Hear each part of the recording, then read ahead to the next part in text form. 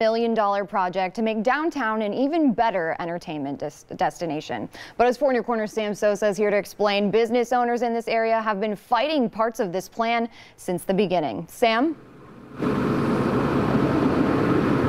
Well, Lisa, you see some of these parking spaces behind me. They're along the street here. Once this project is done, they won't be here anymore. They're actually expanding the sidewalk to make more room for foot traffic.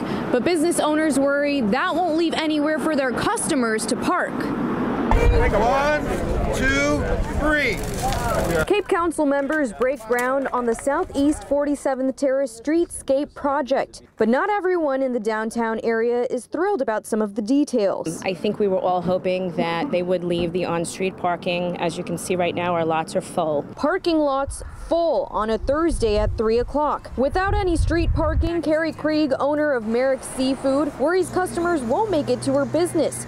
Not to mention street barricades will block her entrance during construction. If our customers aren't able to get to our front door, that in, in turn is going to affect the way that we're able to, you know, stay in business, support our employees. And I think a lot of downtown is excited. I don't think the city paid uh, enough attention to the impact as far as parking is concerned. Longtime business owner Elmer Tabor worries about parking too. However, Mayor Joe Coviello says that's something they can fix later if needed. Once the project is complete, we'll reevaluate the possibility of needing a parking structure, and that's something that we'll look at as we finish the project.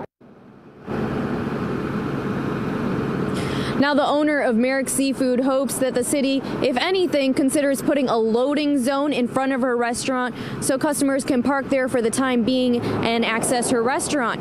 I asked the mayor about that, and he says they've already accommodated that request.